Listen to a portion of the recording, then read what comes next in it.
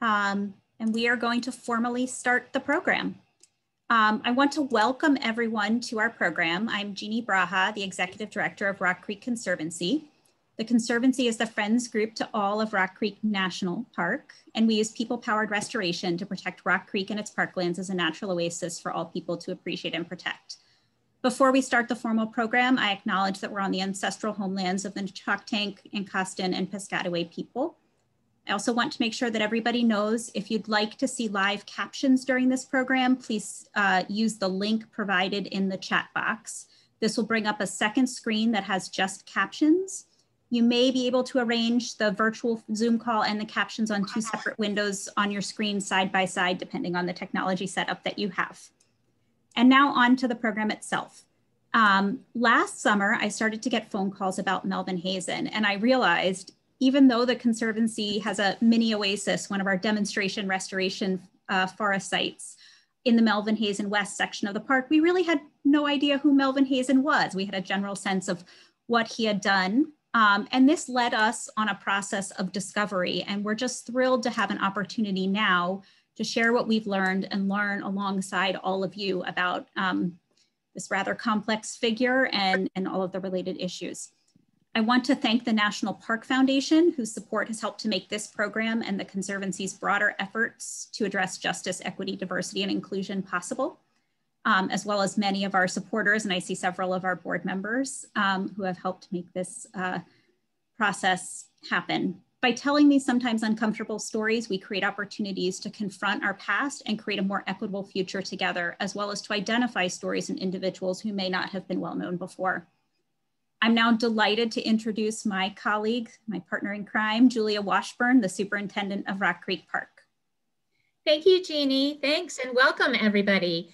I'm glad to see that we have a great turnout for tonight's panel discussion about Melvin Hazen and his legacy.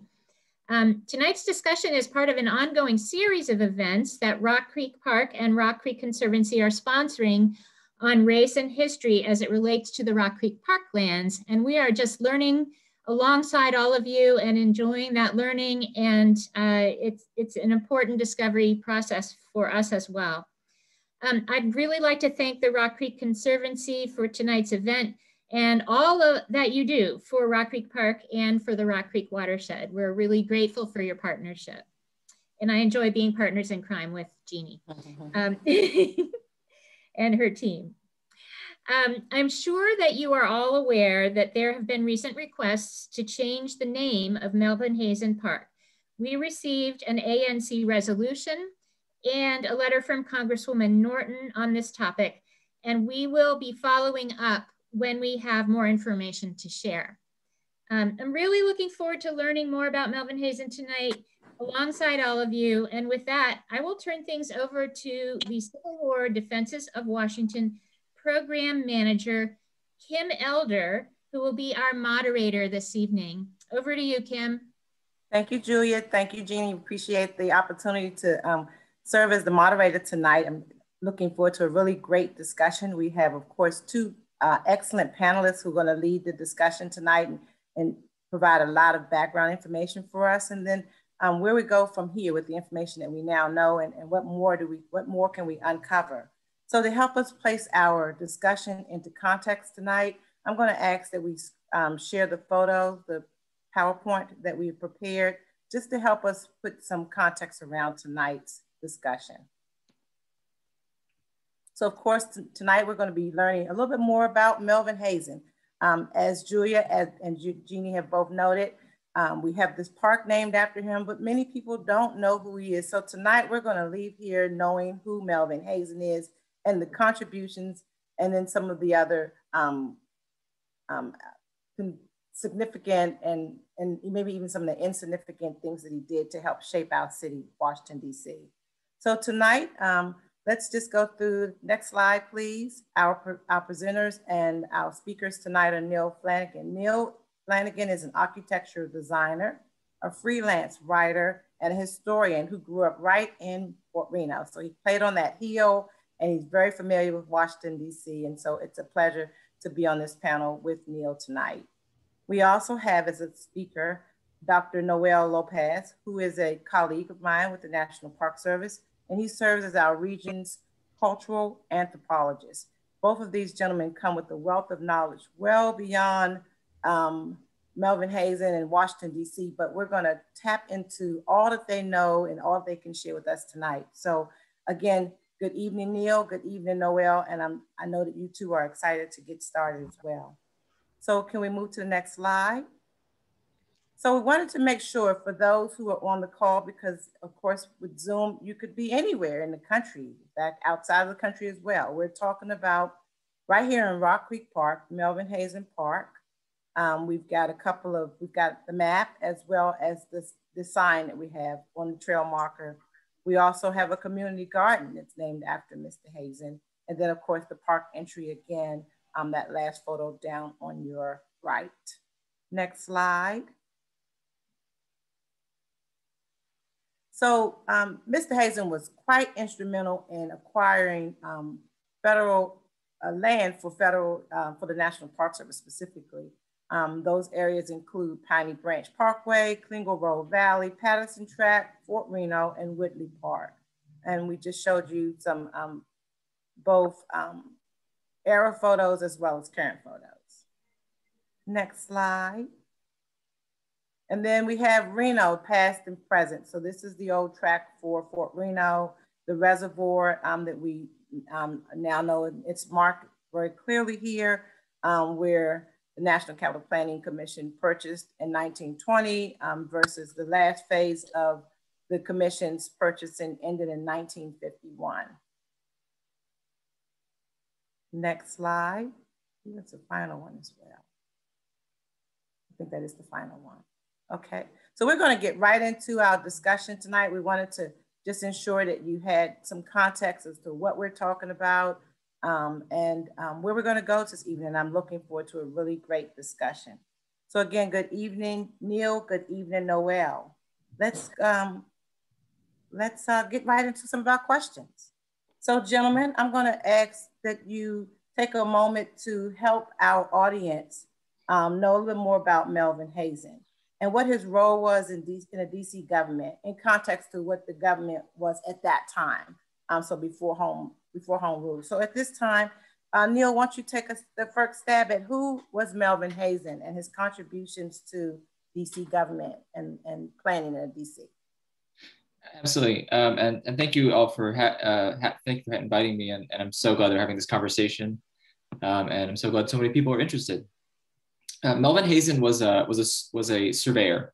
He was the District of Columbia surveyor. So um, he uh, what that was is that he was in charge with managing the some of the property records and the the geom the geometrical uh, uh, accuracy of maps for the District of Columbia. So property maps, street maps, and uh, a variety of other sort of things that were done by his office that are now done by other things like DCRA.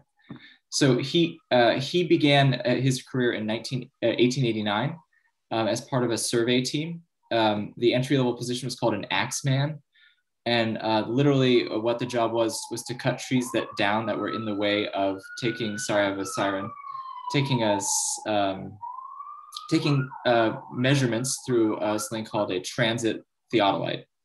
And it's very old fashioned technique.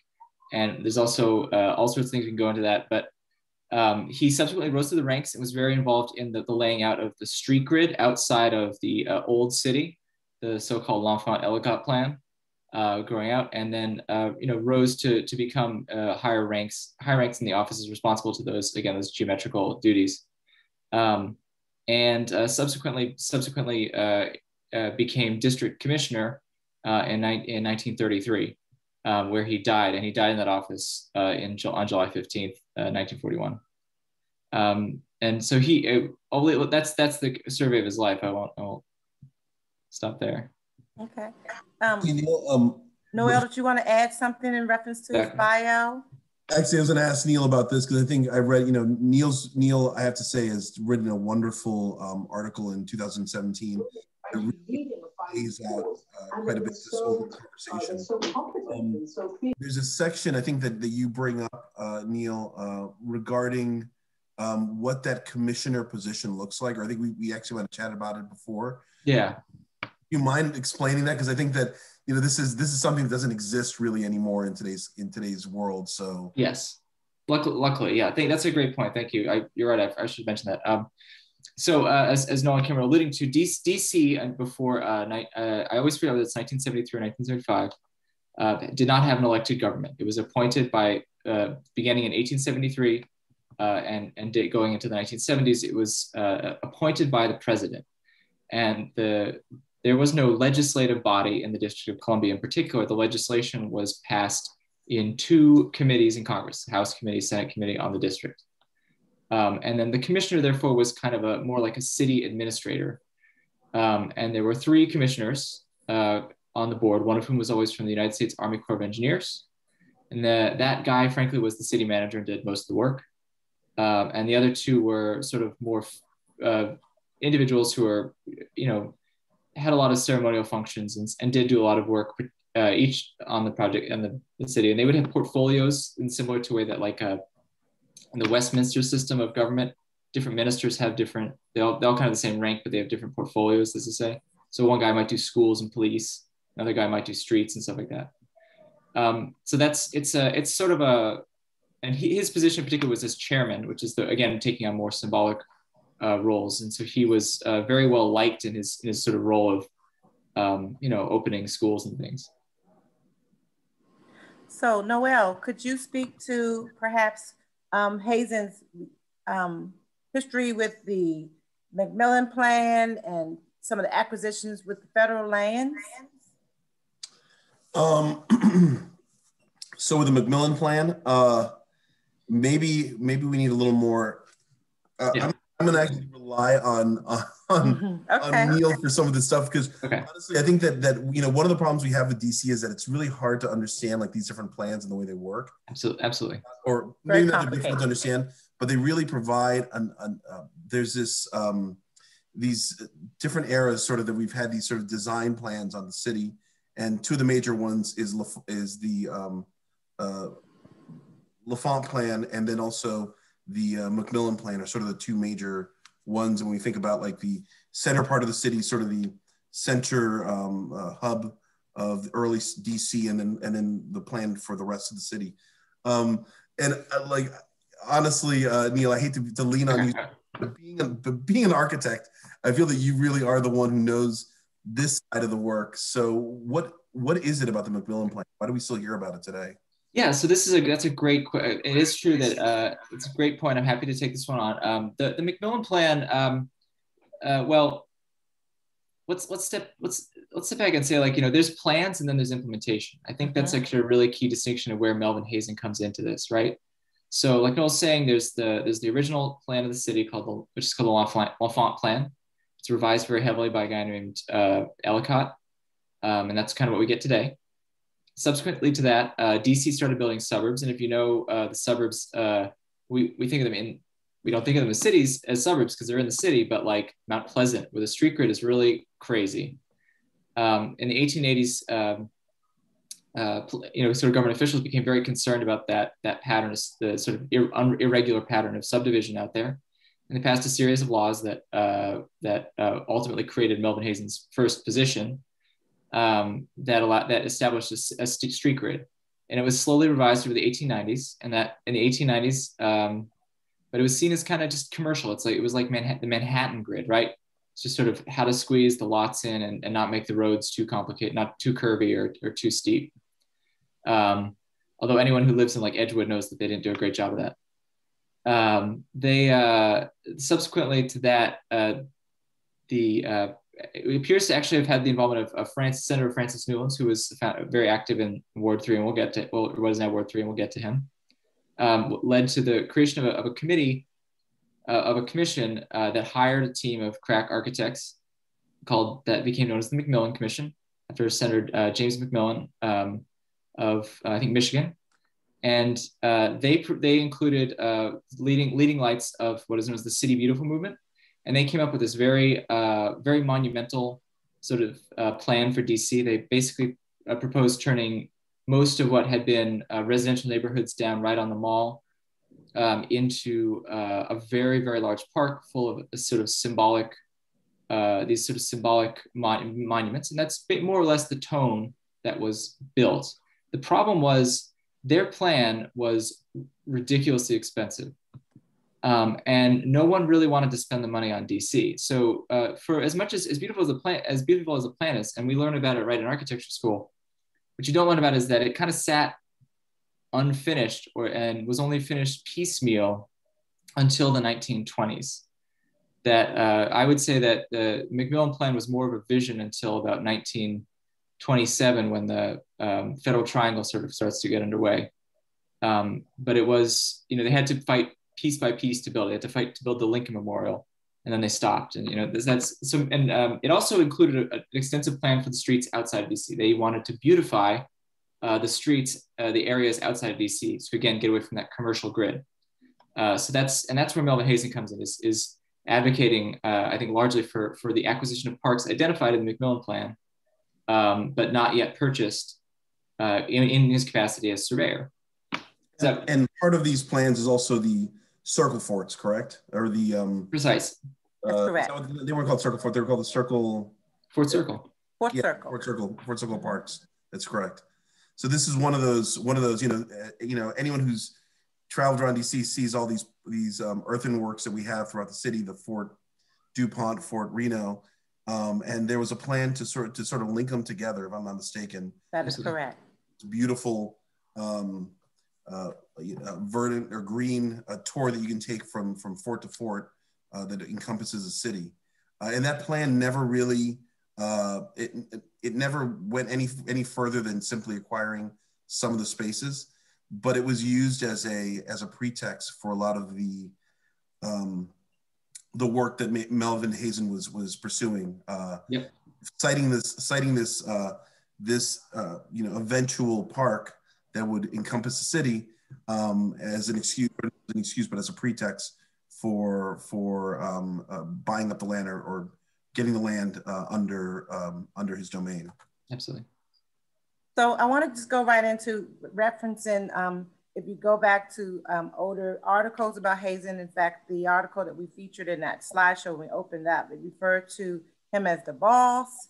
Um, he was often referred to as the first citizen of Washington because he worked tirelessly to improve this layout, the lands that we now know as DC. But we also know that he did a lot of things that weren't always favorable for all of the residents of Washington, DC. And so I want to just make sure that we kind of highlight some of those things that he did. We talked about, we kind of listed those places that he, he worked in.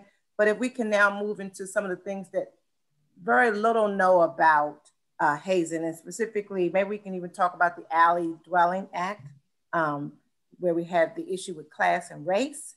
And so I want to punch that out to either one of you all that want to take a, the first stab at that and talk about the uh, Alley Dwelling Act. Um, okay. So I'm gonna again as as the leaving letting the architect be the architect. I think I think that this, though this is a really interesting one with the Alley, Alley, Alley Dwelling um, Act because I think it sort of is like the first impulse to um, to start the the uh, the sort of a more formalized process of clearing yes. certain areas out. I, you know, up to that point, if I'm not mistaken, to clear um, housing out, it had to be clear, declared like derelict or or um, uh, non-livable, and then uh, you'd have to take it to court, and there would be uh, you'd have to to argue for right of eminent domain to to tear it down. Um, and the Alley Dwelling Act supposedly, I think the intent was sort of to um, to provide, to, you know, this if there was like an impoverished or unsanitary housing to uh, because uh, at the time um, a lot of many alleys in DC or in some of DC were uh, or a lot of homes were, were, that would be fronted we'd see on the road but have alleys that would have uh, entire communities living there. It was very vibrant alleyway uh, community life uh, that existed in the city. Um, but unfortunately, a lot of those people were living in uh, conditions that were that were not necessarily the the best for them. But on the other hand, they were they were actually being able to survive. So the, the city or um, the Alley Dwelling Act, the the idea behind it was that they would it would um, clear out the alleyways and we refer to them as slums, I think sometimes, and um, and then provide housing uh, either there or elsewhere. I'm not sure about if the housing was supposed to be replaced immediately nearby there or not. So I think the first case was maybe there were 11 dilapidated homes, uh, I think on K Street. Uh, the, the ADA was used in a large way. And uh, they ended up uh, coming back and creating 12 new homes. And the interesting part of it is I, I believe that uh, the labor was all done by the uh, Works Progress Administration. So yeah. we're supposed to contract it, and I think it became it fell under uh, WPA in some way. Um, Neil. Yeah, and that's a that's a great. Uh, there's actually there actually I've I have not ever actually looked at the files, but at the I don't know if you know DC has its own archives. The DC archives has a very large uh, set of files related to the implementation of, of its public works under the Works Progress Administration, which is pretty cool. And I hope someone digs into that someday. Um, it Works Progress and Public Works, they did both of them. Um, so the the alley, the alley situation, as as Noel said, is you know is it, there were um, Afri- a lot of African Americans, particularly the poor, and as well as a lot of poor whites, lived behind the main house, right? So DC's blocks are very big, and so behind the big blocks uh, would be these little alleys, and they were seen as as rife with crime and um, and and unhealthy conditions. You have to remember, no a lot of most most people most people uh, when they were built didn't have plumbing. Um, and by the time of the 1910s, the gap between the front houses, which had plumbing and started to have had electricity, start, maybe started to even have other kinds of, of utilities, um, they, the gap between the two became very apparent.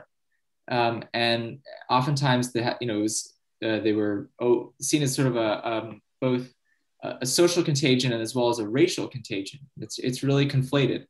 And people would, because the alleys were in the back of houses, they were seen as breeding grounds for crime in the sense that, uh, that the people from respectable society or, or, white society couldn't surveil what was going on.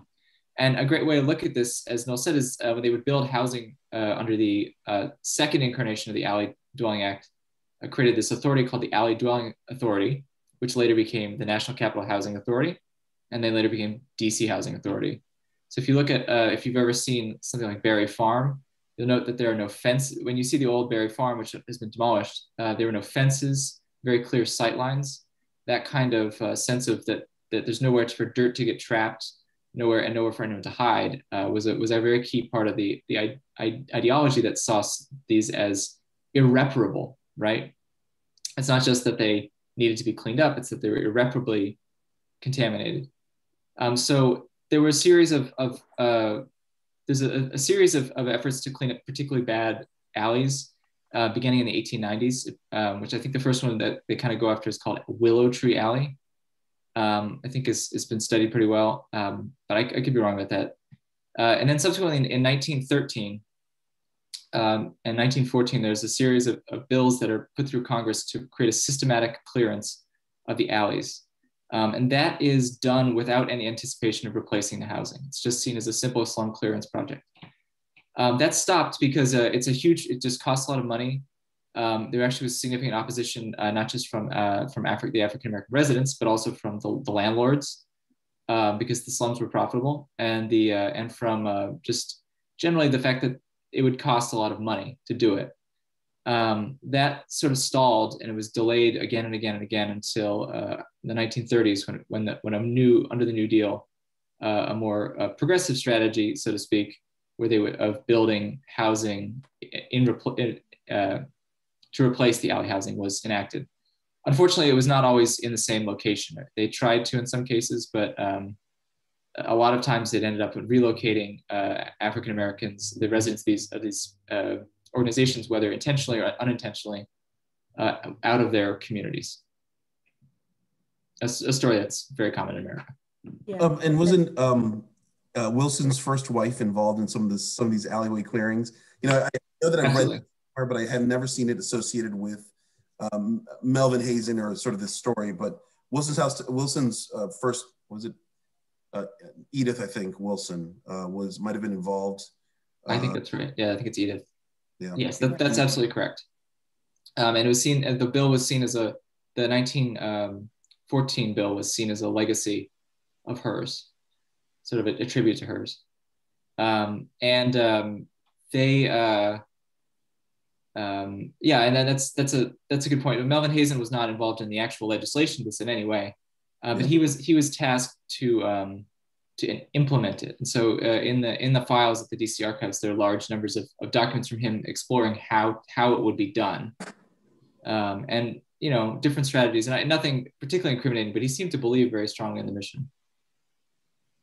So we've covered quite a bit of his um, his contributions to the to the commission um, very early on. And I wanted us now to move um, a little bit um, post Civil War time now, and we're talking about Reno and the founding of Reno and Reno City. So, um, would you share a little bit about the history of Reno City? Who lived there? How does it relate to the Civil War?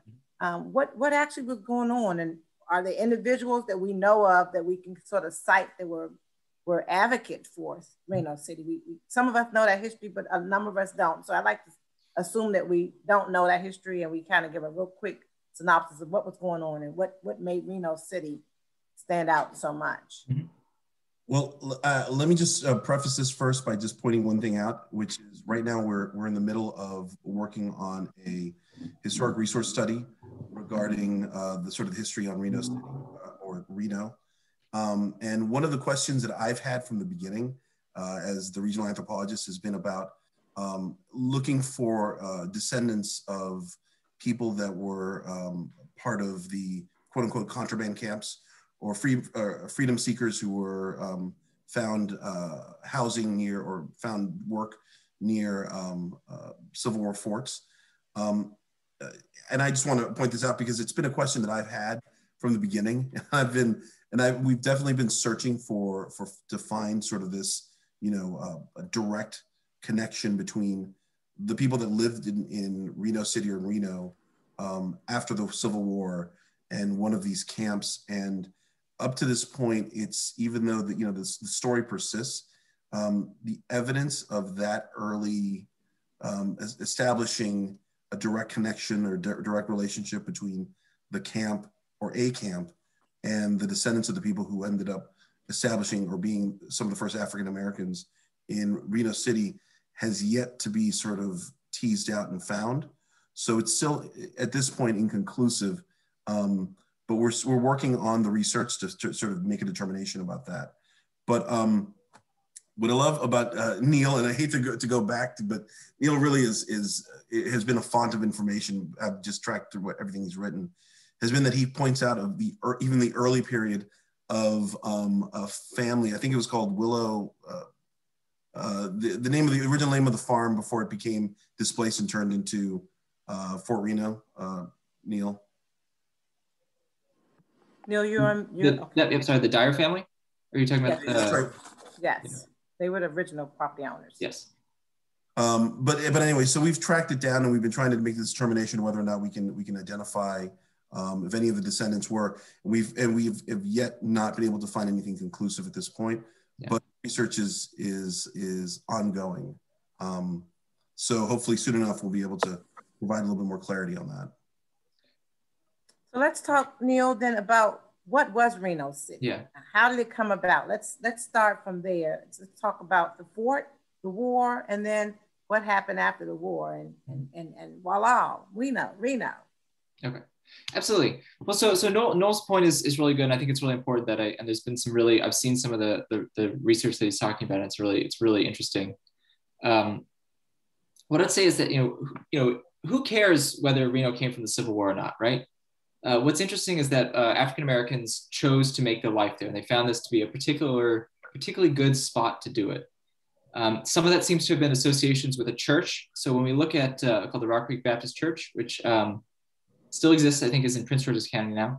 Um, they, uh, you know, they, there seems to have been, Reno seems to become a sort of hub for African Americans living in the rural outskirts of Washington, D.C., uh, beginning in the 1870s. Um, so after this, so the, the you know it starts starts it starts in the wake of the Civil War, and particularly the Dyer family uh, leaving the property. Uh, but it, it really starts to mature, and I think it matures through three phases. Right, it has this this rural sort of center of center of, of the community, uh, centered on its churches, and then it starts to develop into a little bit more of a, a community that's uh, for sort of working class people who serve the, the uh, um, the railroads, the streetcar suburbs as suburbanization and some light industry starts to move out into the into the out of the old city. And then the third phase, it starts to become really a proper a community that's almost suburban. Uh, we start to see uh, more professional professional class and, and uh, uh more uh, affluent African Americans starting to move into the community. Um, and at the same time, you start to see white uh, people moving into the community too, because it's it's a really great location. Um, and you know, there's there's a tension there because some of the, some of those white people did did not want the black people around, others did. Um, but there, there does seem to have been uh, a pretty interesting community at its peak, which I would say has probably been about uh, 1915. Um, and what I believe is that uh, evidence suggests that um, as it was, what, what actually was most concerning to the white residents around Reno was that it was becoming more stable, that it was becoming more uh, affluent. Um, in fact, what we see is uh, a number of people who were involved in this incident called uh, the development of a neighborhood attempt to build a black neighborhood in Chevy Chase called Belmont uh, per, uh, began op, looking into Reno. So that in particular is how uh, Reno's greatest advocate, a guy named James Neal, seems to have become involved. He may have tried, he may have been trying to re reproduce this effort to build a, a, a, suburb in a nice part of town for African Americans. And we know that one of the leaders of uh, the citizen, the Reno Citizens Association. So if you know the term Citizens Association, it's usually associated with white people. Civic is usually uh, black people. That distinction wasn't present in 1910. Um, uh, his name is Zachariah T. Thomas, and he was very successful at agitating to uh, get resources to Reno, in particular, uh, lighting the streets, getting uh, more water hookups. Because mm-hmm. um, although it's next to a it's next to a reservoir, a lot of the houses were not uh, readily hooked up to water. Ironically enough, right? Um, so Reno Reno is a really is a complex place, and it, it, I think that the fact that it was associated with civil war is interesting uh, but really, it's it's important to take it on its own terms in the in the by the time as it develops 40 years later. And, and let me just add, um, because this is in, in my billfold as well, but that Reno City was um, was a very affluent, and like as you said, at the peak of it, was very affluent. They, these yeah. were educated African Americans. Yes. They were sending their children to sending their children to the newly founded Howard University, um, lawyers and doctors. And so um, again, this wasn't this blight condition that was yes. described later on. Um, yeah. That was definitely what they used to, to bring right. their case before the before the Congress. It also seems as if, um, um, and I think you'll probably get into uh, James Neal later on, but one of the things that happens is that as um, as his sort of more experimental ventures in in development start, you know, being doors start closing on him, he realizes more and more the importance of a community like Reno. Yeah, I think that's that it goes very close to what you what you sort of write about this idea that that this becomes a um, uh, a hill to, to sort of to, to, plant your flag on. Absolutely. Yes. Um, uh, you know the the as these you know it's one thing when you try to establish something new, but there is already an established community there that is that that has a level of agency. Um, they either own or rent, and um, and they have a willingness to stay. Um, that that creates a um, uh, something that can't be easily dislodged by by um, Hazen or any of these other plants. They, they can sort of resist in very in very important ways. And in fact, I think that um, that the resistance that they do offer is is fascinating and really lays out sort of some of the early um, battles that later on when we talk about gentrification and things like that um, sort of themselves but seeing the way that you know the, the fact that um, that Neal sort of has these these plans in other places and they don't quite work out because he's trying to find trying to establish these uh, you know very um, affluent um, or some of that. I mean, at least with I think it's Belmont is the one that was yeah. very affluent. It was supposed to be um, uh, next to or near a, a, series of other developments that were of, of white communities mm-hmm. That, that, were also affluent. And uh, when they realized, they they shut it down immediately. Yeah. Yeah, well, actually, well, that's that's that's a that's a great point. I, I think that to, to the, the point of the land, you know, why is land important to Black people? I mean, it, um, or why would it be in this case? And I, I think that it, it, has held a historic importance, uh, particularly to uh, African Americans because um, it's it property rights in America are very strong, and they were much even stronger uh, back in at this time. And that property right, it, it, you know, in many, um, you know, it entitles you to a lot of rights. I mean, how many times have you gone to a community meeting where people remind you that they're homeowners, right? Um, the uh, that that ability to escape uh, harassment is another reason why you might pick a why a lot of African Americans actually made their homes uh, even when they had a little bit more means on the fringes of, of cities because it was just a way to avoid uh, this being kind of being watched um, and and sort of cause having uh, friction. Um, so I think that um, you know the, the land is when the civil rights were not very strong, the property rights are a way of insulating yourself and and, and claiming something own it and and you know having wealth, having wealth that is hard to get rid of. Um, and that and that really is something that James Neal talks about when he goes to the Senate hearings. He's he he actually talks about that he's not getting enough money for some of the land. Um, in addition to, he doesn't want to just, he's like, you're going to, you're going to kick all these people out and we're not getting the money for it. Exactly.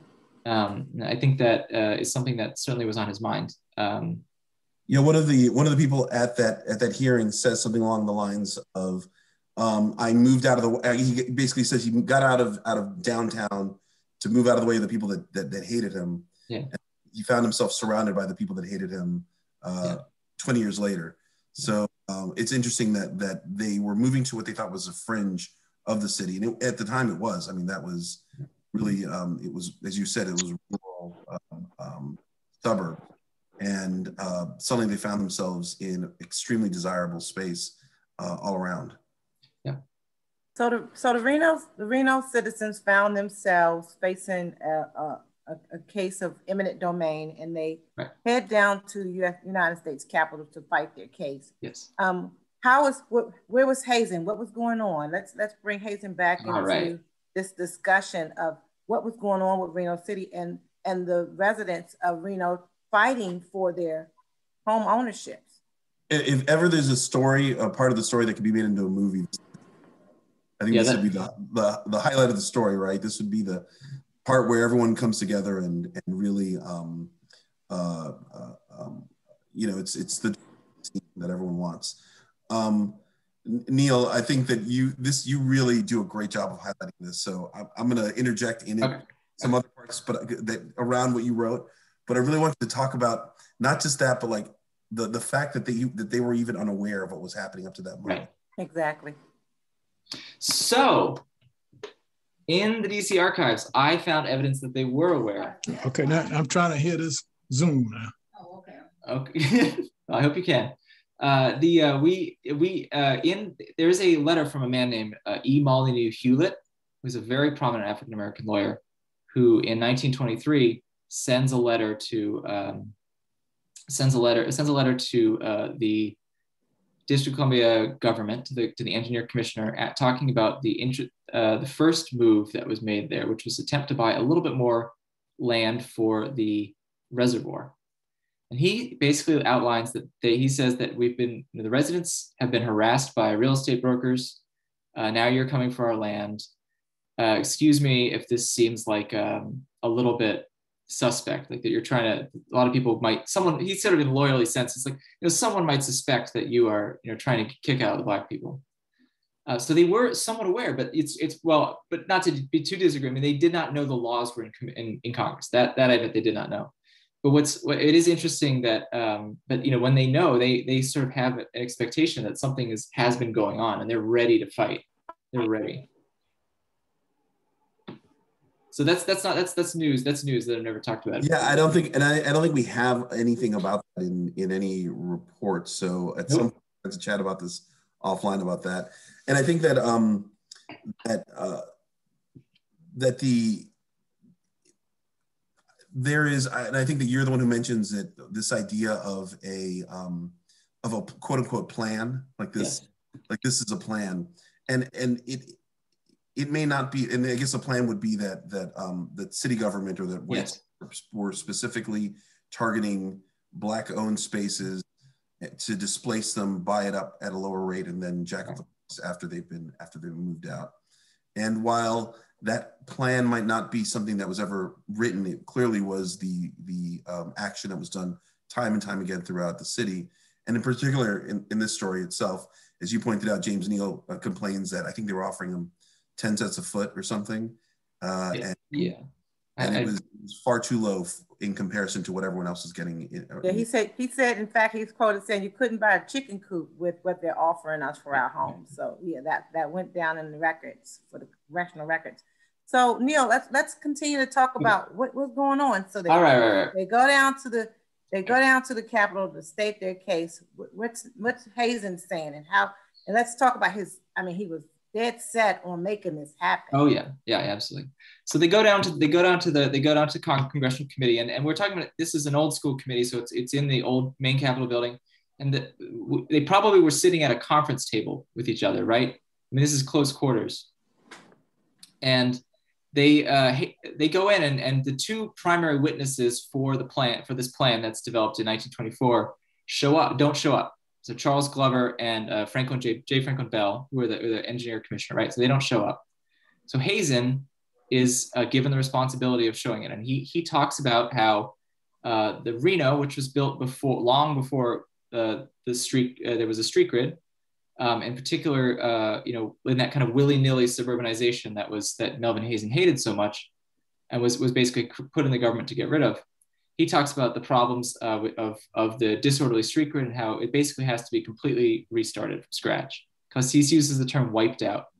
So um, he, uh, and he talks about also about some, some, some, some slum, what he considers kind of slum conditions. Um, but they, you know, repeatedly insist that it is just for public good and there's no private interest, Right. no sort of racial interest. And of course, James Neal does not have any of that. And there's a, there's a lengthy back, there's a pretty interesting back and forths. And um, I think effectively what uh, they, they, you hear both from James Neal and his, his associates, a man named Thomas C. Johnson, I think is there.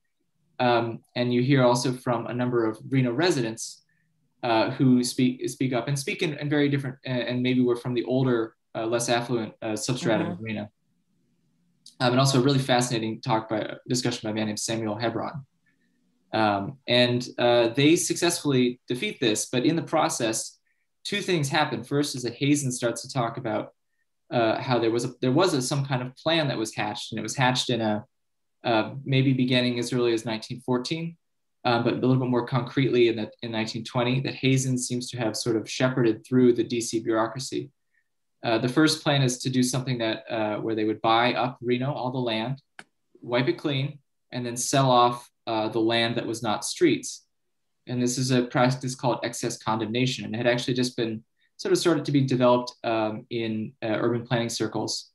And originally has to do with uh, sort of recapturing the value of public investment in prop in, in, in land right? If you build a street the land next to it is more valuable. We put a, we put street lights in the land next to it is more valuable we put a park in the land next to it is more valuable so how does the government recoup that but, but hazen takes this approach and, and sort of doesn't doesn't look at it that way he doesn't use that the, the way that the originators use it. He uses it in a way that's much closer to urban renewal, right? Which is that you buy, he proposes buying up the land and then reselling it to people um, with, with some, maybe a profit, but not necessarily a public good.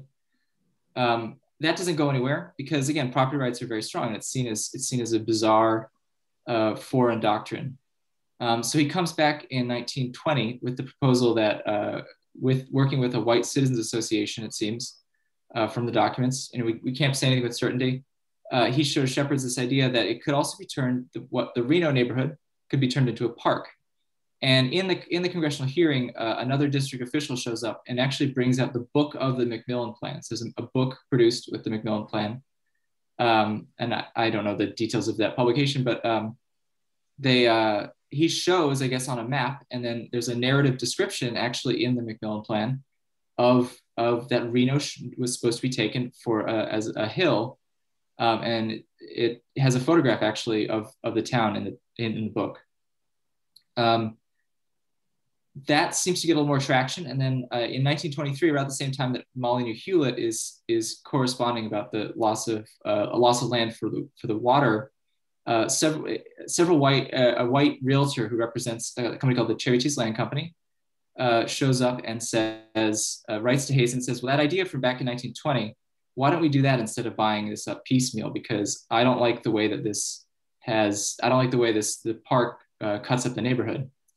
So uh, Hayes, so this uh, this man, this Harold Doyle, and, and Hazen seem to start to collaborate, and they, they forward letters back and forth um, until a, uh, a meeting occurs uh, to discuss the value of, of clearing Reno on uh, February 6th, 1924 um, at 2 p.m. We have, we have documents from it.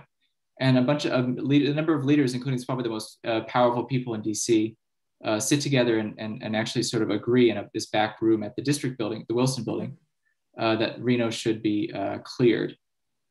So that comes up in the hearing. Um, and uh, Hazen actually does a does a plan.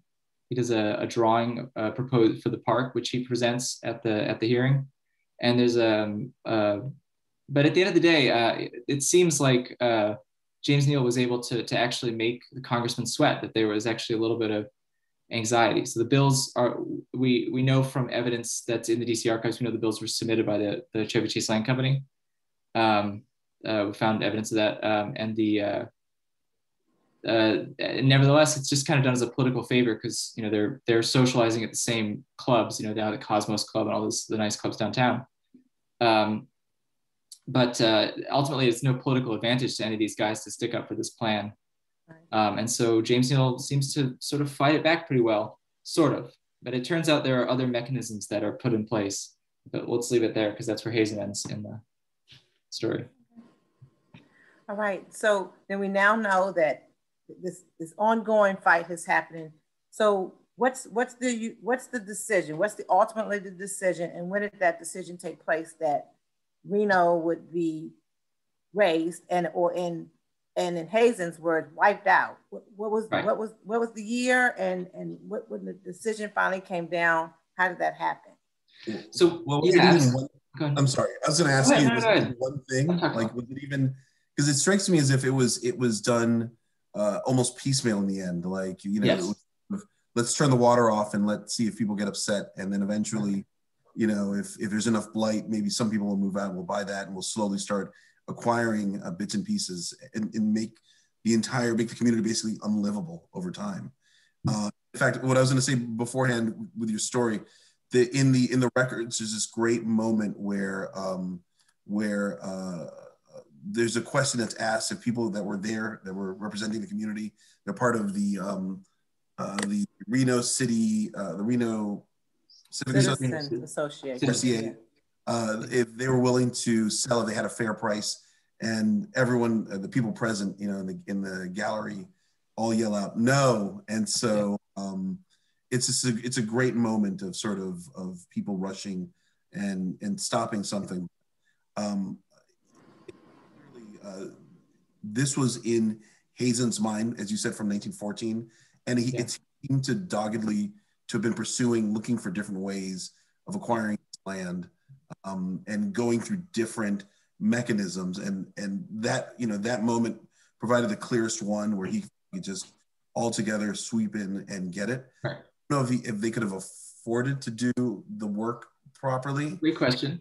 They were even asked if they had a place to if they displace all these people, could they were they going to get housing? And he said no, there was no no plan whatsoever for housing for any of them. Yeah, yeah. Which is which which just goes to show, uh, you know, the desire for the land versus exactly uh, about the community. Um, so the both of you are historians and great storytellers. Now you've got us at this cliff. What happens? Right. What what happens oh. with Reno? So uh, what happens what happens at Reno is actually there's a very clever something very subtle that was done is why you got to read the fine print is that uh, the first takings in Reno were done for um, for the for the reservoir and then for uh, the what is now Alice Deal. So in the in a uh, I think 1925 appropriations bill there was a specific mention that a school sh- two schools shall be built in the Reno subdivision. Mm-hmm. And uh, what happens is that uh, the first takings start to go they start to buy upland and then they initiate court proceedings. And James Neal shows uh, uh, represents Samuel Hebron, I think. I think it's it's him in particular, as well as several other other individuals in this this sort of taking for deal. Um, and they go to court, and the court basically says, "Look, it's it's right in it's right in the school bill. Hmm. We don't have any choice." Um, so the school no, and the, the park. The park was also a part of that. So we want to create yes. this park. Well, well, so then, so then what happens is that uh, with when with the inability of the uh, um, uh, of the uh, of, of the of this Hazen bill to go forward. This bill, this bill that sort of comes up with Hazen's idea. Um, what happens is that uh, at the same time, actually at the same months uh, that that there's this back and forth on on Capitol Hill, there's a back and forth about something called uh, of a bill that will create something called the National Capital Park and Planning Commission. So it creates this uh, large, powerful federal agency with a consistent appropriation to buy land and to build parks in DC. And it is essentially created to implement the McMillan Plan with adjustments to kind of, you know, 1930s ideas instead of, uh, 1920s ideas instead of uh, 1900s ideas of what a park should be. And they, they do that. They ex basically execute the McMillan Plan downtown with a couple changes, right? So Federal Triangle is no longer kind of a, a complex of museums, but instead uh, in, ple- in pleasure gardens or whatever, it's now federal office building because the federal government got bigger, right? They, but they build the mall.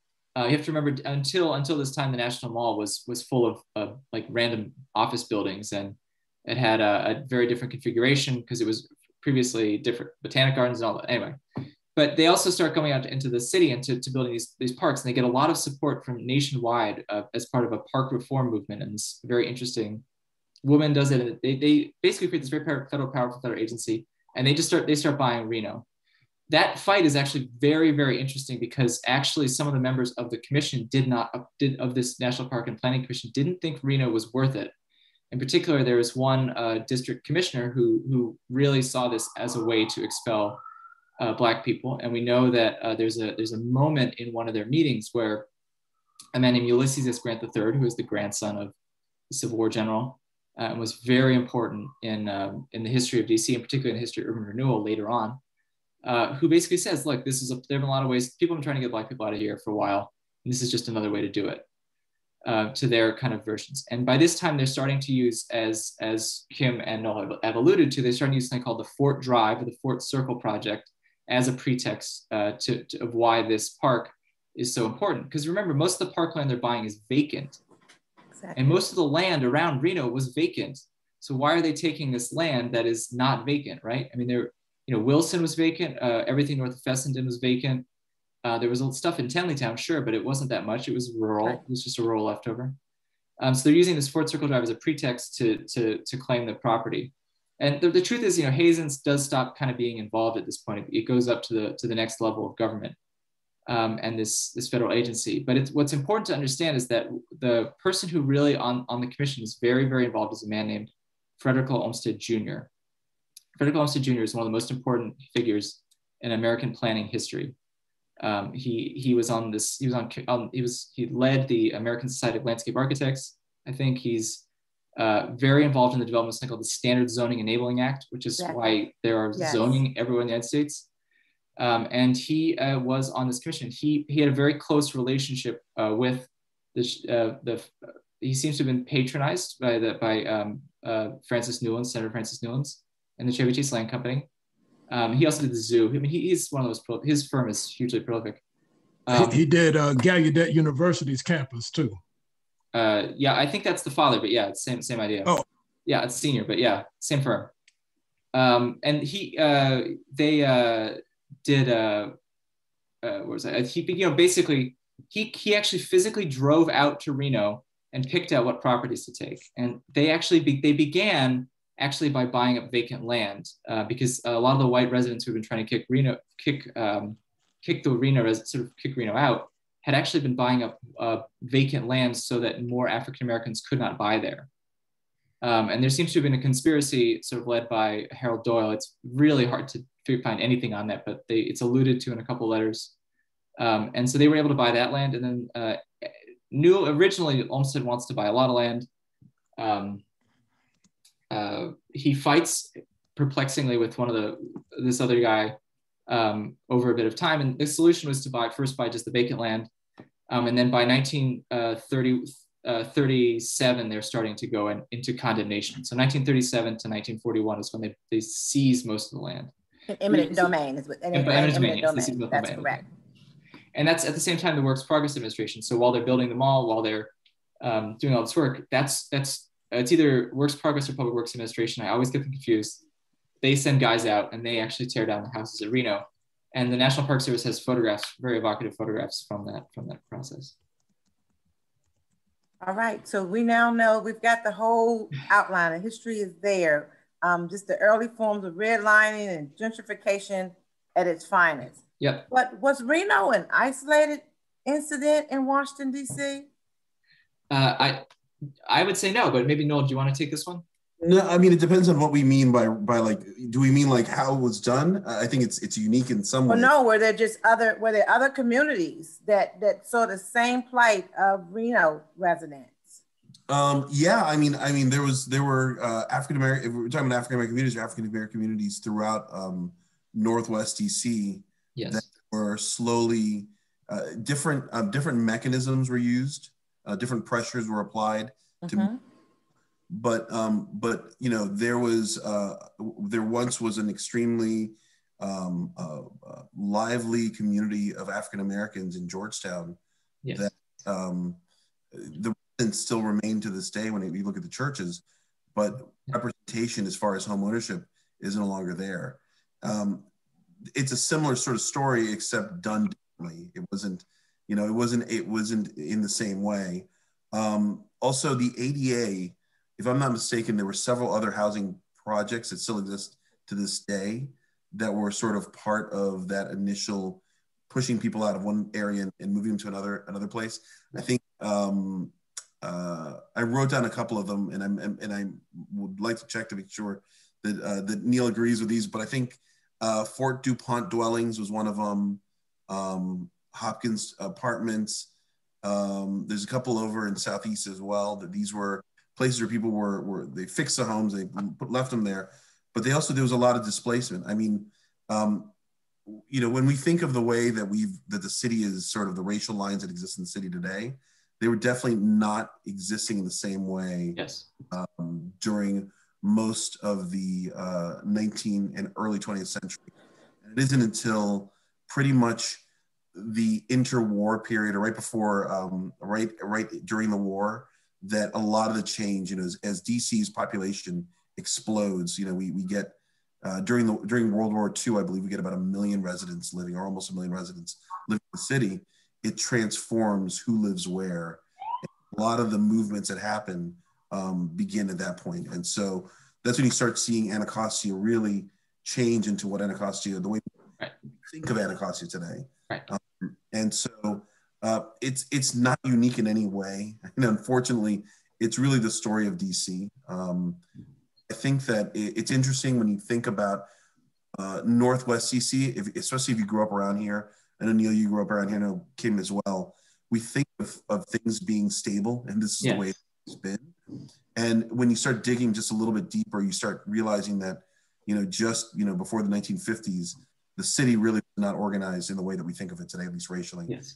and Absolutely. the hardening of those racial covenants um, didn't really I- they, they were working you know these things were happening at, you know for a long period of time but really the solidifying of where people could buy the way that you could even get uh, mortgages if you could get them you know who was selling the homes where they could sell them it became it became um, uh, more organized the way that that was being done and in fact i think that there's a lot of evidence to show that the whole entire redlining that started happening uh, was very actively sought in a very specific way.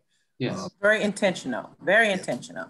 So this, so this intentionality really, I think, uh, lays, you know, creates a city that, that we come to think of today.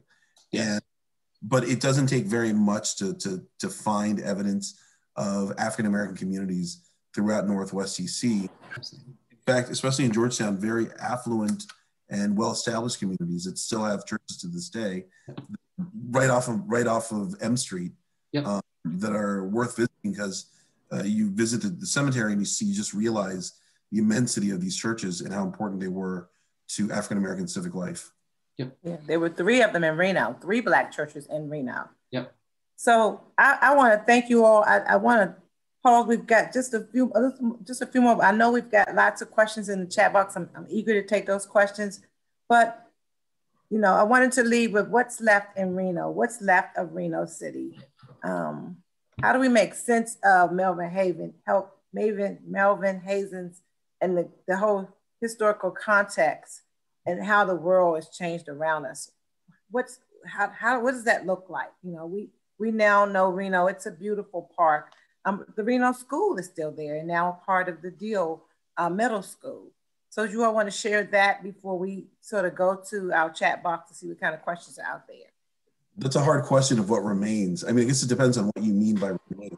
Uh, there's like lights, you know, I, I, I asked the park recently, like, you know, today I was like, you know, what does remain?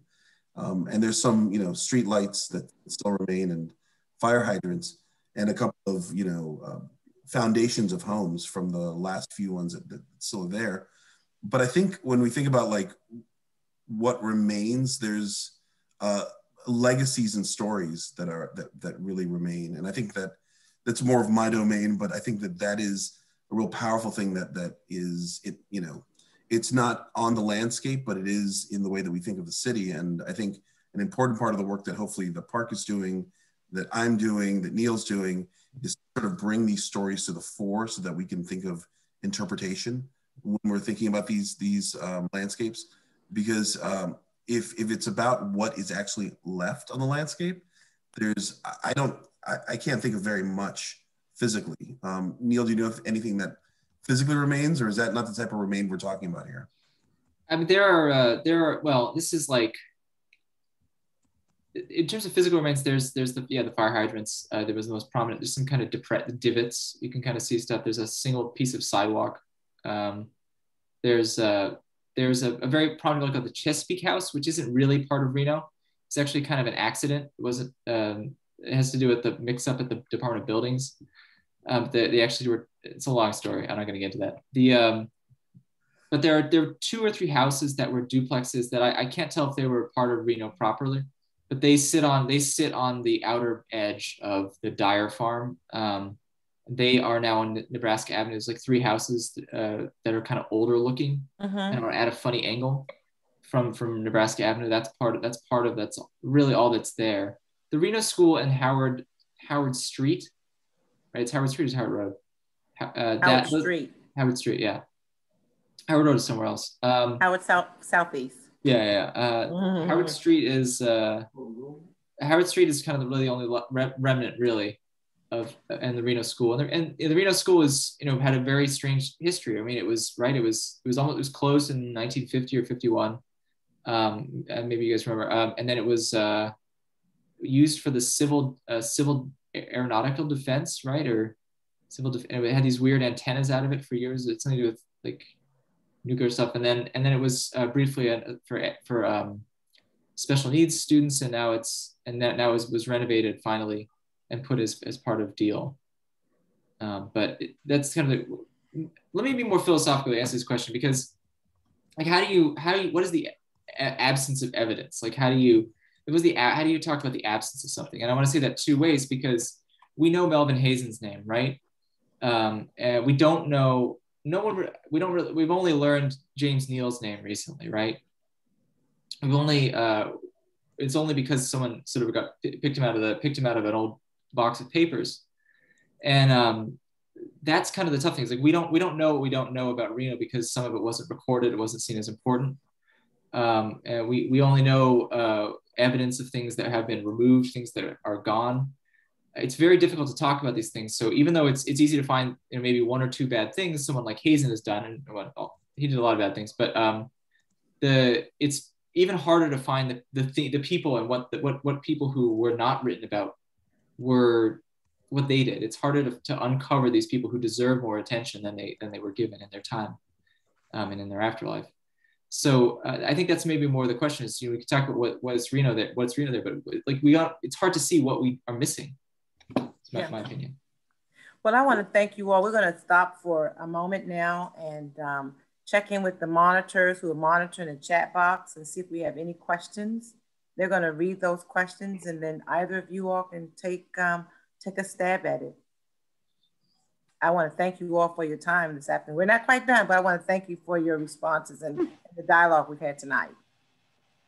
Hit me. Um, all right, and thank you, Kym, for moderating that discussion. That was um, fantastic. And apologies if these are out of order in which they came. Um, I think this is pulling on something that maybe Kym said about this could, or no, Noel, you said it could make a movie. Someone asked if there is any um, if there are any films or fiction works that capture the, the story of Reno. No, but there should be. know what Neil's next project is. Call me. Okay. Um, maybe any any historical fiction that captures the era and some of these themes that you've been talking about? Um, there is that there's that novel about DC. There's that there's an episcopal epistolary novel about DC, but being like a black middle class in DC. Do you know what that is? No, I don't think I've read a novel about about that. We will have to find it and have a. We'll follow up with a book club. Yeah. exactly. Well, and honestly, uh, Neil, I think just real quick, I think it's an interesting question you're posing about what do you do in the absence of something. Yeah. Um, as a uh, as an uh, ardent Freudian sort of person, I think that when things are omitted and and forgotten, uh, they manifest in different ways. And so I think that um, that even though we may not be able to um, see the people that were that were on the landscape, the problems that they experienced and the same issues that people are experiencing today is a form of manifestation of the of the sort of the same trauma, yeah. you know, displaced sure. from places. And so there's there's a continuation of the story. Yes. Even if it's with someone new.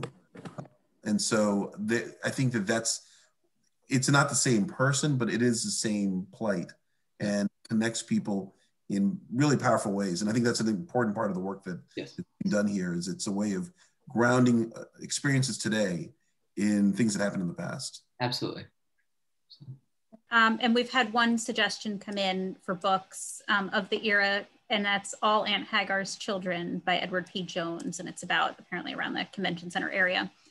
Um, Maybe someone could place that information in the chat box. Yeah. We will get that out and we'll also send up a follow up email, um, working as fast as we can.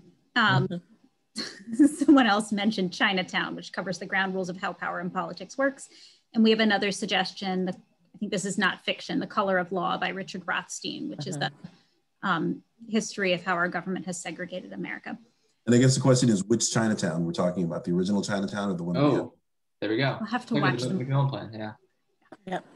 Um, next, we'll be doing a watch party where Neil and Noel both um, watch historical fiction and commentate on this. That'll be our next program. Um, somebody asked if there are any living former residents, or Noel, you also mentioned looking for descendants um, of Reno who can share stories. Um, living former residents, I think that there are.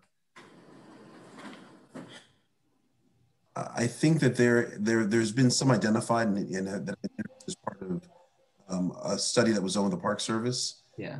Mm-hmm. I don't know if there's any living uh, today, and I'd have to go back and, and take a, and look through that. But I do know that there have been people who were part of that, and I know that um, uh, there's a possibility that, that, there can be some still today. I mean, there's no reason why not. I think the last people who lived in Reno was 1950, maybe somewhere around there. So there's no reason that there isn't people who are still living that can remember.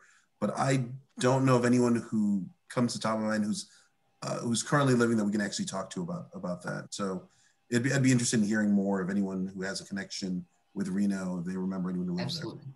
And I'm sure there's some descendants um, or former residents that were forced out to Prince George's County and Montgomery County and other areas that could probably, you know, share stories of their families living in Washington. We once upon a time we lived in Washington D.C. Um, so I know that Noel's working on a, a number of those sort of projects to yeah, help us continue to tell those stories in the park. What's yeah. interesting is some of the few places that that that still are around from that period of time that didn't get displaced have become these strange little isolates yeah. that exist in in in you know in our region, including uh, I think uh, Tobytown is one of them. Yeah, definitely. A prominent African American community that is in Potomac, but that is completely isolated. And um, you don't even you know most people don't even know that it, that it's out there. So um, it, i'm certain that it's the possibility of there being and as we uncover more and go through the church records i'm sure we can probably find some people that might remember. Um, but uh-huh. i don't know of anyone as of yet. So if anyone here knows of anyone uh, you know i'd love to hear. All right. Um, oh sorry Kym No, I was asking, do you have any more questions? We sure do. Good, Um, good, good. Yeah. So, sort of related to that, one asked if there are any efforts or ways to compensate earlier Reno residents for their economic loss, and if not, what would a mechanism be? there, there are no mechanisms at this point and i, I think that um, this is a you know reno was very bad but it's it's really um, nothing compared to some of the things that would happen later in the 20th century um, even up until to aspects of gentrification today i mean uh, when we talk about where other there are other incidents where um, people were displaced uh, right i mean when the, the urban renewal of southwest i think well reno was something like 300 people uh, probably were displaced uh, in the course and over over 10 years. Um, in Southwest, I think like tw- it was like 22,000 people were displaced in two years. Um, and um, you know similar things at Barry Farm. People know Barry Farm as a public housing uh, area, but it was uh, that actually was built. It was that date, that actually was a community that dates back to 1867. So uh, when uh, Suitland Parkway was carved through that, huh? Barry Farm was was like six times bigger than you. If, if you have a picture of what Barry Farm is in your head, it's like six times bigger originally. Uh, so the construction of the Anacostia Freeway and Suitland Parkway did did things like that. And um, so, is there a compensation? Like, no, there should be, but there, there is not. Um, but I think we need to. It's good to look at these things systematically. And the thing that I, I, hope we take away from this is that we can't just sort of look at Melvin Hazen and say um, Melvin Hazen was uh, the guy, and he, we just get rid of his name and everything's solved. It's going to be much bigger. Even when we talk about names, you know, uh, two people, three people who were in that night, that back, that 1924 backroom meeting were Harry Wardman, uh, Charles Glover, um, and um, and Frank Ballou. So all these these people who actually have names elsewhere, and we haven't done this systematically. So names systematically, and then and, and, and compensation, reparations of some kind, and systematically. Wait a minute, are the Wardman homes named after Wardman? Yes. There we go. Frank W. Ballou has a high school over in Southeast DC. Yeah. Glover Park has a lot of things. The Glover has a lot of things. Like Glover Park. Um, someone mentioned Kathleen Lesko, Black Georgetown Remembered. Also, we had a question, and this might speak to that idea of, um, you know, what is an absence? Someone asked about if there might still be foundations under the park or other, perhaps underground archaeology. And I know we have the, I think Brad from the park is on the line too. Um, I, I don't know of that. Unfortunately, I stopped uh, studying when we got to archaeology. We'd have to, we'll have to rely on, on, I mean, there is some foundations that, that are. We do. There are. Yes. There's, um, you know, there's uh, divots in the in on the on the landscape, which clearly were roads, because you know th- those type of impressions only occur when people traverse and people are carrying stuff across it. Um, and I think that uh, that like this is totally out there, but I know that I've seen at least in the little wooded area, there's things growing which usually indicate like this specific types of of, um, of plants growing that seem to, to indicate that there might have been like a small garden or something because you know onions and other things that that normally aren't just part of our lands you don't just pop up anyway. um, but I, but as far as anything bigger, I think that um, uh, we'd have to ask Brad if there's anything that's been identified. Uh, um, I, what we know is there actually are, there are oral histories that are kept at the DC um, Historical Society. So this Reno was Reno was not completely forgotten. In the 1970s, there was actually a, a somewhat of a of, of, a, of, an interest in it. This is kind of there was a 1970s fad for local history, um, uh, and it, for there was some interest in that, and they actually they actually did in that oral history project interview descendants um, and the descendants used to have a picnic actually on Fort Reno, according to a Washington Post article about that, uh, or, or, people who, who had formerly lived there. Um, but the oral history includes an interview with people, some of the workers who demolished the houses. And they, they said that what they would do is they would tear the houses down, uh, throw the construction debris into the foundation, and then light that on fire. Um, and then just cover it with dirt once the fire had gone out. So there's the foundations are almost certainly still there. Um, well, great. We had another question. I think it came up when you all were talking about the alley dwelling authority about um, if there are any specifics about Blagden Alley or maybe if it's connected to that piece. Well, there's a tremendous resource out there called Alley Life. I think it's called uh, the book's Washington Alley Life or Alley Life in Washington. Alley Life in Washington by Borchert. Yeah, that that I think is a that I mean there's it's it's kind of dated, but it's a it's a tremendous resource, and I guess we can put it in the um, the chat section if you because it really breaks down um, alley by alley. I think it might have been written in the '60s, so it's got or it might be earlier than that. Um, it's got great detail as far as what you know what each alley looked like and the composition, uh, racial composition of many of the alleys.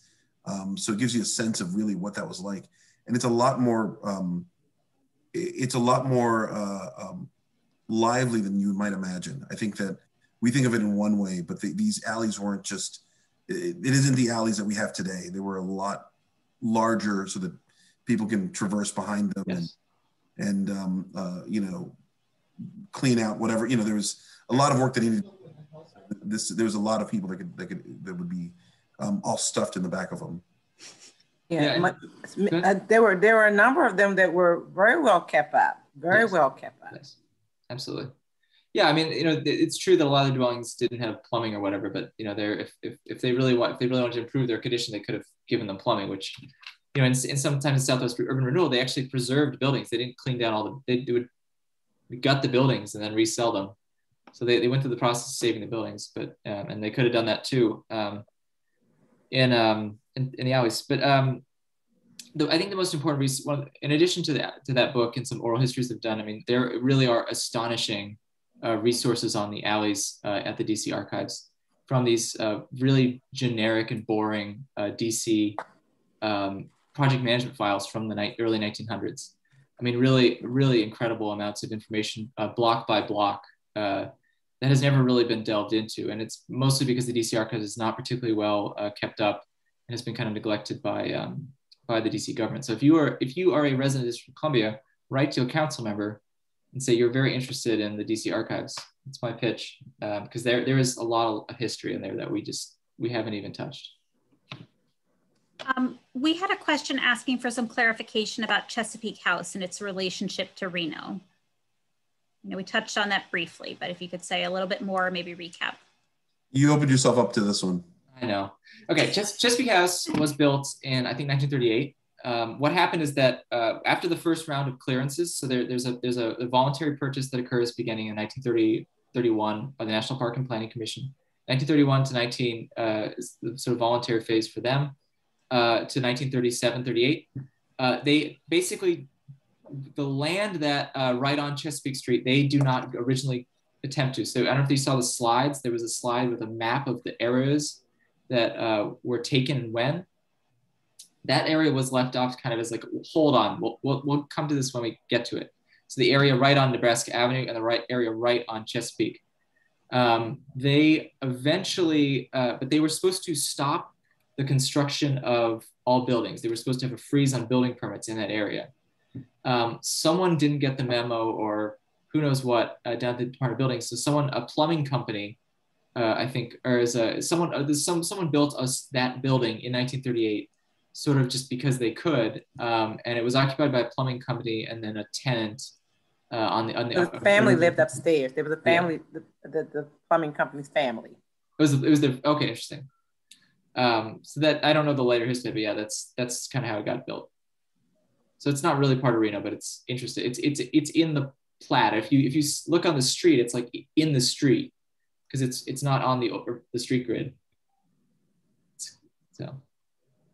Is this the house that later on was used by the punks in the uh, 70s? Early? Okay, okay. I think you might need to say a little bit more about the punks, Noel.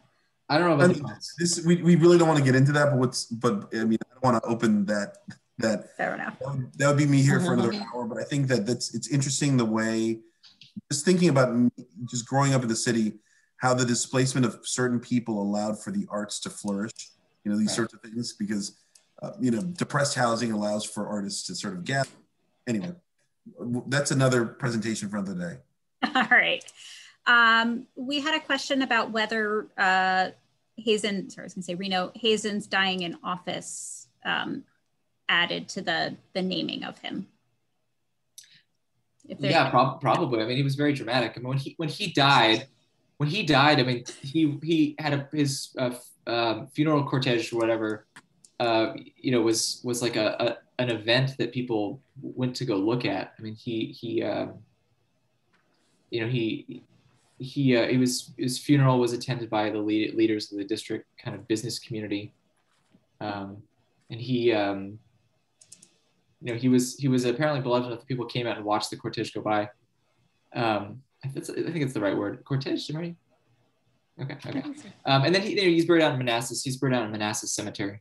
Hmm. Um, the uh, you know that probably did, and I, I, guess that he you know he was just it just seemed like I think I think he just really was well from what I remember the they just appreciated that he was involved in acquiring land for Rock for Rock Creek, and he may have had some hand in Melvin Hazen Park, but they simply thought that as a tribute. So it, it's named about six months later, I think, for him in December. He dies in June. Um, so for those who don't know, he actually died literally in his office of a heart yeah. attack. Yeah. In the in the district. for the dramatic. Yeah. Yeah, very dramatic. Um, uh, let's see, we had a question about whether there are any internet accessible photos of the alley dwellings and the Reno houses and streets. And maybe I'd extend that to Neil, you mentioned the archives being a great resource. Are they digitally or digitized rather? No, the DC archives is very poorly digitized, but the, the Library of Congress uh, does have a lot of alley photographs, photographs of alleys. They're particularly uh, from a big range of period. They, like they've been they were photographed a whole bunch of times, and I think there's a one at least one. There's these really beautiful photographs from that period, um, and I think I think it's you know they were done by a black photographer instead of a white photographer for once. That really captures kind of the lives of these people. I can't remember his name, but if you yeah. Google that, maybe do you know Noel? No, I don't know, but I know that the um, I want to say the Washington Post several years back did like a photo series on on alleyways showing what they were like back then and the, the changes because there's still you know in certain parts of the city there's still some of the remnants of those homes uh, still exist to this day. Absolutely. I think that they they there was a couple people doing tour groups of those alleys and so the Washington Post followed up by showing what alley life looked back then versus what, what remains today. Um, so uh, it's I think if you if you look it up, I know that there's been several artists have done reinterpretations and the imaging. So there's there's a lot out there. If you just look up DC alley life, you, you'll you'd be surprised what you find. The, the yeah, the, the Tenleytown Historical Society has some photographs on their page of Reno. Um, there's uh, that, but again, there's a lot of photographs that aren't. I mean, in, in the, at the uh, National Archives, in the records of the uh, National Capital Planning Commission, they photographed. So there's a lot of there's a lot of photographs that have been seen and digitized of um, the that you can find online of the demolition and some stuff done by the National Park Service. Um, but before that, uh, the, when they would acquire a building in Reno, they photographed every single house, right? There's a huge collection of photographs that just has never been scanned and digitized because it's buried in these records. So again, there's a lot of stuff that just isn't touched yet. Yeah, anyone anyone wanting to get a do anyone who's interested in doing like a thesis or a dissertation, just going down there and helping organize and seeing what's in there is I I would if if it were just a little bit better organized, the amount of resources that are in there is just immense. And so you get a little glimpse of what's in there, but it's just needs it needs some care. Well, um, on the note of care, I think that um, we are probably out of time for more questions, but I want to express my appreciation for how much care um, everybody who took the time out this evening to participate in this program. Um, and I will get to you wonderful speakers in just a moment, but I want to make sure um, that we do not, we are not remiss in thanking the people that maybe have not been seen or heard this evening. Um, from Rock Creek Conservancy, our amazing community engagement team led by Elena Smith, Maya, Brianna. Um, really appreciate all the work that you've put in um, at Rock Creek Park, the incredible team, including Brad and Dana. I see Nick is here, Rita, and others who helped make this evening possible. I am so very grateful. Um, and I am just so grateful to all of you who are interested in exploring this intersection of race, history, and Rock Creek with us. We started last year with the the Chocolate City book talk, and um, I think we might have come up with ideas for about 12 more besides those we had already planned just in the course of the conversation this evening. Um, and of course, I am thankful for the amazing weather we are having this week. I hope you take this as an opportunity to see some of the places that came up in conversation today. Remember to wear your mask when you're out in the park. Um, and with that, I am going to give the last word to Julia. Well, thank you, Jean, Jeannie, and I, I, uh, I reiterate all your, all the thanks and gratitude that you just shared. Um, especially, uh, you know, to the people behind the scenes, really appreciate that. And our terrific speakers and moderator today. So thank you all so much. Um, you know, this has been really, really interesting for me. Um, I grew up in Northwest DC. I went to Ben Murch Elementary School, Alice Deal Junior High, and uh, Woodrow Wilson High School. And in all that time growing up in, in upper Northwest DC, never once did I hear anything about any of this history. Um, and I'm just so grateful, following on the gratitude theme, that uh, that we're we're working on uncovering it and bringing it out. And it's going to be, um, you know, these stories, these untold stories, and these pieces of buried history that were systematically buried. You know, Rock Creek Park is committed to continuing to tell those stories and to bring them to light and to work with, you know, scholars like uh, Noel and, and Neil and others to try to um, verify and, and draw out more stories. I imagine what's in those archives, right? That imagine. we could, could actually interpret and tell people about and share. So I'm excited we have so much opportunity here um, and such an important uh, story to tell about the intersection of race and history and Rock Creek Park. Um, and I'm looking forward to the rest of the series and all that we can do in the future to uh, interpret this important information. Um, so with that, I'm gonna say good night and thank you all so much for coming. Right. Thank you again, everybody. Have a great night. Be safe thank out there. All. Thank you. Thank you so much. Thank you. Oh, everybody. Great job. Very enlightening.